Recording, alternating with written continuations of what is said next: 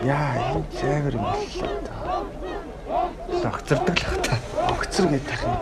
Хамаг цаглаараа л ажиллалаа. Тойр одоо болоо. Тойр огцор огцор ой. Огцор. Хөөе. Манай хүмүүс рүү битүү дайраад бай. Би тулааны талбарт нөхрөө өргөдөг хүн биш шүү. Намайг огцруул. Үин яг зогтохгүй.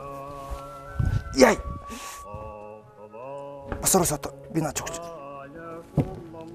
Баст зөндөө хичээж ажиллаа шүү монголчуудаа. За, өстө гоё явлаа манай. Аа, за. Гоё өснө. Буцаагч даа. Хүмүүс юу гэж. За, наа чи юу байна вэ? Чүмэн намаа хараад байгаа юм. Би яаж хоёр зэрэг сууна? Чамаг Наа чи. чамаг стан бодлооч. Та тэгтээ арай итгэвч.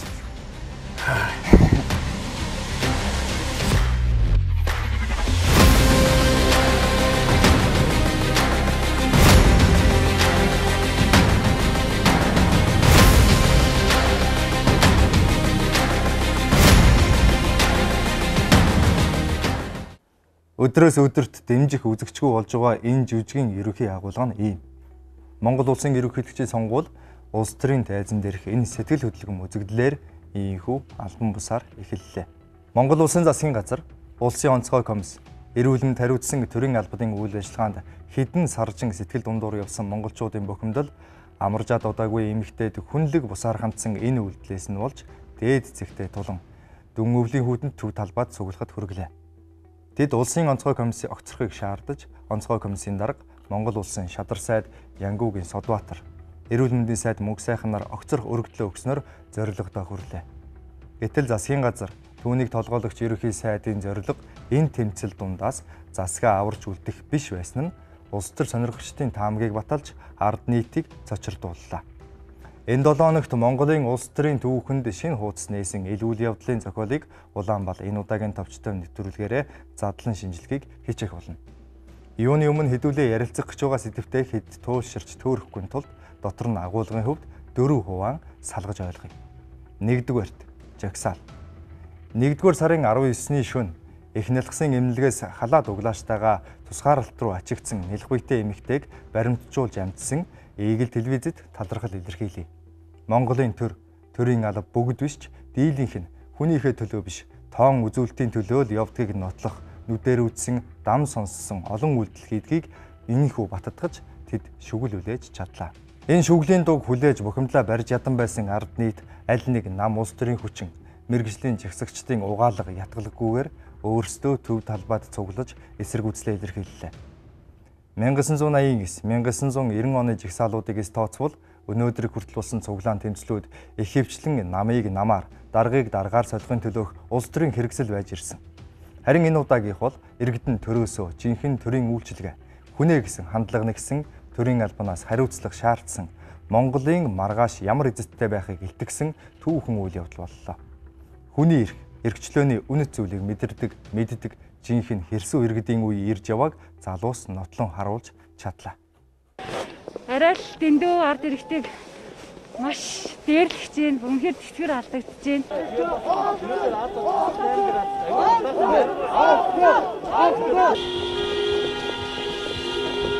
Жижиг сажиг гэлтгүү бүх юмыг л одоо зохицуулсан тэр дүрмүүд одоо байхгүй болмаас л одоо тийм одоо юуртайгаар гаруул гэж бодоод байгаа шүү дээ. Одоо эднэрийн энэ буруу зөрүү гаргасан. Тэгээд дээрэс нь шийдвэр гаргахгүй удаасан.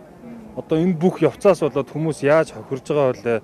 Одоо ямар хуу байдалтай байгаа вэ? Тэрэн дээр одоо бүх бүх хүн одоо хариуцлага өөрөх ёстой бүх хүмүүс л хариуцлага өөрмөр байна. Өөрсдийнхөө одоо хүртэх ёстойгоо хүртмээр байна.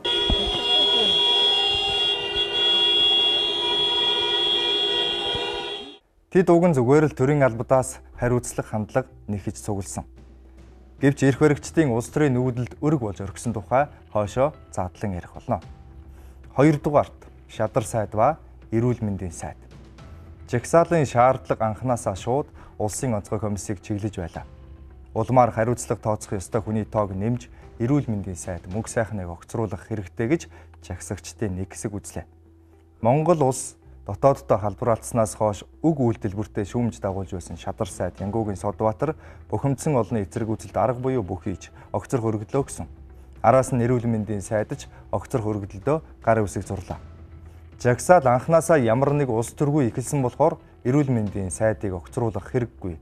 Түүнд боломж олго гэсэн байр суурь эсэргүүцэгчдийн зүгээс баггүй гарч ирсэнд мөнгө сайхан сайд, найдвар тээж, салбарынх нь зарим нөхөд маргааш нь сайдыг авч үлдэх бяцхан хөдөлгөөн хийлээ. Энэ нь эрүүл мэндийн сайд, ерөнхий сайд огцорно гэдэгт бэлэн биш. Энэ тухай мэдээлэлгүй байсныг илтгэн. 3 дугаарт Ухнагийн хүрсв. 2016 оноос хойш үндсэндээ хүчтэй сөрөг хүчингүй явж ирсэн эрх баригч намын дарга. Хүн гал гаргахын тулд модыг модоор үрж халаан. Эсвэл чулууг чулуугаар зохиж оч үсрэгдэгтэй адилхан улс төрийн үйлдэлүүд харилцсан тоглогчтой байж үр дүнтэй хүчтэй байдаг. Хэдийгээр арчилсан нам хоёр сонгуул дамнан их хуралд бүлэгтэй байх хэмжээний суудалтай байсан ч хүчтэй сөрөг хүчин байж чадаагүй. Иймд хөрөлсөх ерөнхий сайд зарим үед өөрийгөө ороолгож яолохдоо бусдыг заан чанга дуугарч оноо цуглуулснаар сүүлийн 2 жил улс төрийн тайзан дах үзэгдлүүдийг өөрөө найруулж амжилттай тоглож ирлээ. Тэр ийм жигсаал болохыг мэдэж байсан. Хэрв ийм жигсаал болоогүй бол өөрөө цаг нь болохоор ийм эсэргүүцлийг хөдөлгөн өрнөх нөхцөл түргэж үр дүнд нь засгийн газраа өөрөө огцруулж баатрын дүрээр ёс зүйн хариуцлага хүлээсэн нэрээр улс төрийн дараагийн нүдлээ хийх байж гэдэг нь түүний өөрийг нь огцруулах их хурлын чуулганы хуралдаанд хэлсэн үгнээс маш тодорхой харагдана. Хөрөлсөх өнөөдөр ерөнхий сайдаас огцсноор миний үйл хэрэг дуусчихж байгаа юм бишээ. Би альцсангүй залуу Цаашдаа ч би улс орныхоо төлөө улс төрийн амьдрал олон жил явна гэж бодож байгаа. Магадгүй миний улс төр жинхэнэ утгаараа эхэлж явахыг ч үгүйсэхгүй. Энэ бол хинч сонссон албан тушаалаа алдаж байгаа хүнээс унсан биш хүсснээ хийж ялагчийн амнаас багтаж ядан дүрлцэх үгс. Та бодож ойж магадгүй. Юу гжил жилийн өмнө хийж баталсан үндсэн хуулийн өөрчлөлтөөр урд өмнө байгаагүй эрх мэдэлтэй болсон ерөнхий сайд хүн өөрийгөө ийм их эрсдэл рүү түлхэвдэ гэж Таны яг ингэж бодож байгаа нь л түүний хувьд энэ улс төрийн нүүдлээ хийх таатай өргөн болсон хэрэг. Харин ийм нүүдэл хийж өөрийгөө огцруулж ерөнхийлөгчд заавал нэр дэвшигт хүргэсэн үндсэн гурван шалтгаан түүнд байлаа. Аад нь засгийн газрын үндсэн ажлын үр дүн буюу Монгол улсын нийгмийн эдийн засгийн нөхцөл байдал. Цар тахлын аюул, түүнээс хамгаалах ажил нь бизнес эрхлэгчдийн нуруунд ташуур болж улмаар 2020 оны 12 дугаар сарын байдлаар төсвийн орлого 700 тэрбум төгрөгөөр засраад явж байгааг сангийн сайд мэдэгдэж байсан. Төсвийн орлого тасарч зарлага нэмэгдэнэ гэдэг бол улсын өр нэмэгдэж байна гэсэн үг. Монголчуудад ковидын сэдв сонирн биш болж бүх зүйлд эрүүлэр хандаж бүхэнд л бүр дээд зэгтээ тулж эхлэх үед ерөнхий сайдын эдийн засгийг хүндрүүлсэн цар дахлын үд зохион байгуулалт муутай ажилласан гэх яланд унана. Айл гэрээр бол орлого муутай хэрнээ маш үрлэгэн ухаан муутай муу ав болно гэсэн үг товчхондоо үндсэн ажлаа хийж чадаагүй маш муу ерөнхий сайд болж хувирах байлаа. Бэд нь ерөнхийлөгчийн сонгуул. Намын даргын хувьд намаа бүх шатны сонгуульд ялуулах үүрэгтэй. Ерөнхийлөгч бүх ард түмнээ сонгогддог тул бүх ард түмний дунд тодорхой хэмжээнд нэр хүндтэй хүн л нэр дэвших ёстой. Одоогоор ард нийтийн дунд хамгийн өндөр рейтингтэй яваа улс төрч бол Ухнагийн хүрэлсүх. Иймд түүнийг ерөнхийлөгчд нэр дэвшүүлж намдаа ерөнхийлөгчийн суудал авч ирэх, дээр нь ирэх барьж байгаа том бүтэц бүрэлдэхүүнтэй намын хувьд эрх мэдлийн хуваарлалтаа дахин хийхийн тулд түүнийг ерөнхий сайдаас чөлөөлөх намынх нь нөлөө бүхий бүлгийн түлхээс байсан. Вэд нь намынх нь дотоод хагарал. Тэхий дундуураа хоёр хуваагдсан намынх нь нөгөө тал хөрөлсөх өөрсдийнх нь эрх мэдлийг ардчилсан намын зарим гишүүдтэй хамтарч булаасныг мартаагүй.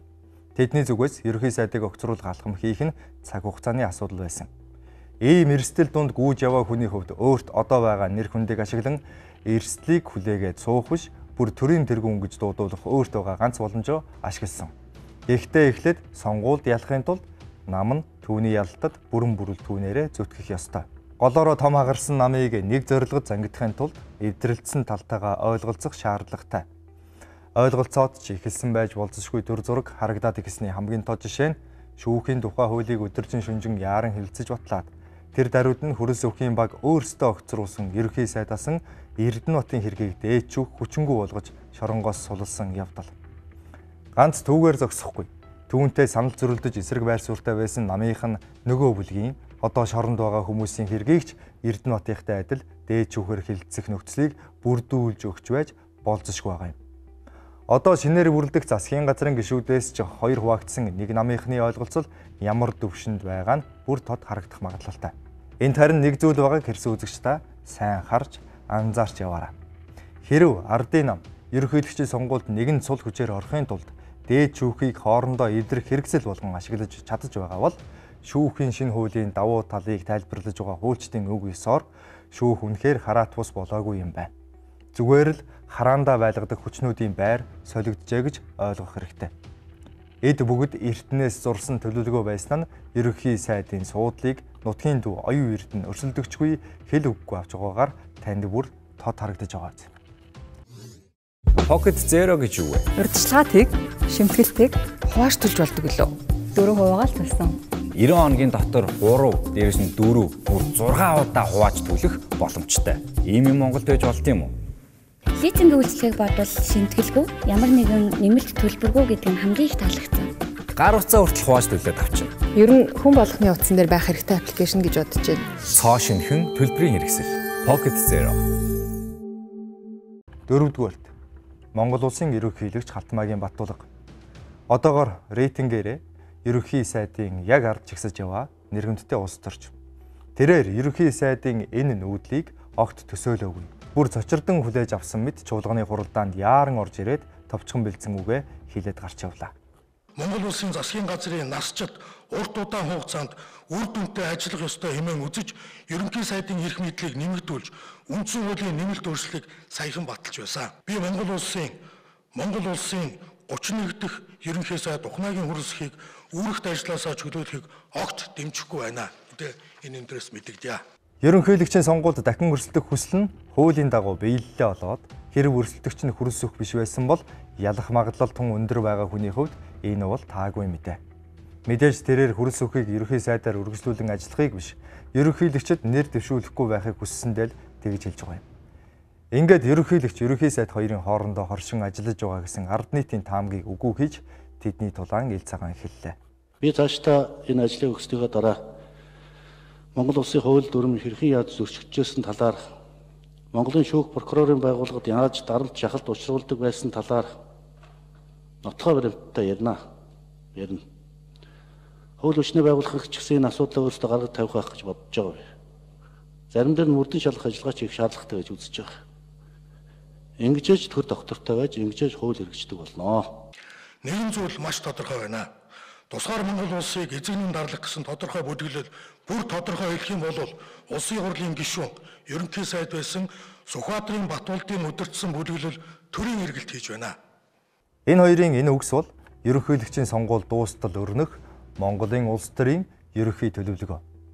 Хөрөн сүхийн талаас ерөнхийлөгчд үндсэн хуулиар олгогдсон байсан эрх мэдлийн хүрээнд юу болж өнгөрснийг дэлгэх юм байна.